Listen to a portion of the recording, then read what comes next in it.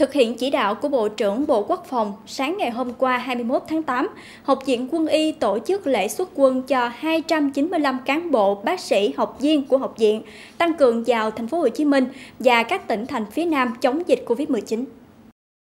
Sau khi vào phía Nam, đoàn sẽ chia thành 60 tổ quân y lưu động, mỗi tổ gồm 2 bác sĩ và 3 học viên. Tổ chức triển khai thực hiện nhiệm vụ lấy mẫu xét nghiệm, tiêm phòng vaccine, quản lý, điều trị, chăm sóc sức khỏe ban đầu các bệnh thông thường, quản lý chăm sóc các trường hợp F0, cách ly điều trị tại gia đình,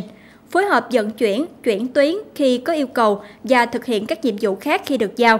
Ngoài 60 tổ quân y lưu động xuất quân sáng ngày 21 tháng 8, sẽ có thêm 600 y bác sĩ, học viên của học viện tiếp tục vào Nam chi viện chống dịch vào ngày 23 tháng 8 tới.